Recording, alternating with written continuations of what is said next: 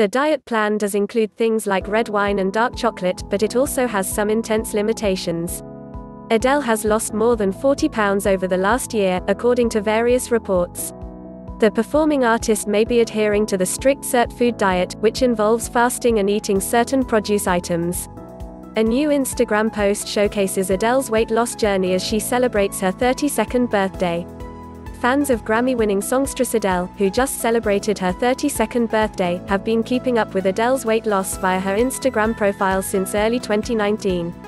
While the British recording artist has sporadically posted images over the last year, a brand new post breaking her months long silence on Instagram is going viral for two reasons. For starters, Adele is using the opportunity to thank first responders. I'd like to thank all of our first responders and essential workers who are keeping us safe while risking their lives.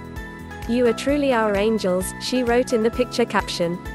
But the post is also garnering attention also because of reactions to her weight loss, including a message from Chrissy Teigen, who is a former Sports Illustrated model herself. I mean, are you kidding me? Chrissy commented. Rita Wilson also couldn't help but react to the songstress's photo, Happy birthday, Adele. Sending you so much love. Looking gorgeous. It's only the latest photo to collectively stun the internet, as Adele's gradual weight loss journey has piqued interest from curious onlookers over the last year. But what fans might not know is that it seems Adele may be following an under the radar diet plan known as the Sirtfood diet, which is designed to supercharge your metabolism.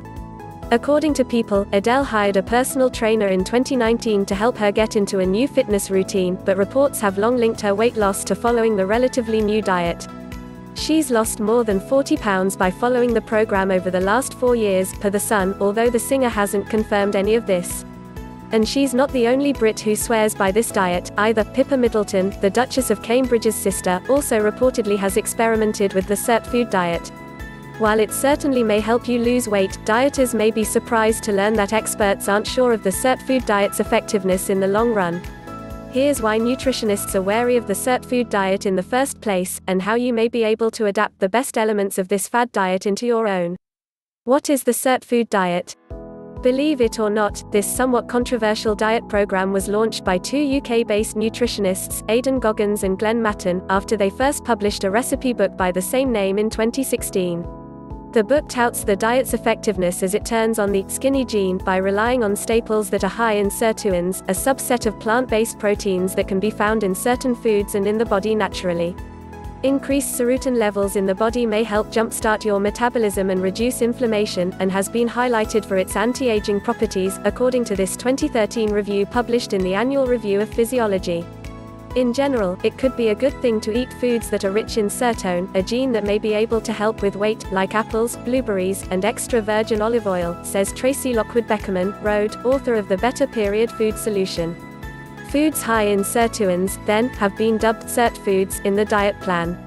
What can you eat on the Sirtfood diet? As highlighted in the official Sirtfood diet, the diet program is based on a meal plan that is curated to be full of Sirtfoods, but curtailed in overall calorie counts.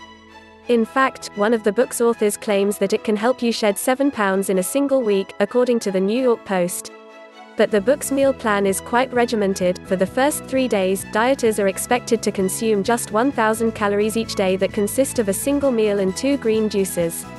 Later in the first week, dieters will enjoy 1,500 calorie meal plans for four days that are mostly divided between two meals. The majority of the program asks dieters to create meals that are high in Sirtfoods, and not much else. Some of the staples that the diet highlight include many different produce items, including kale, strawberries, onions, parsley, arugula, blueberries, and capers. Some grains, like buckwheat, and walnuts are praised, as are spices like turmeric.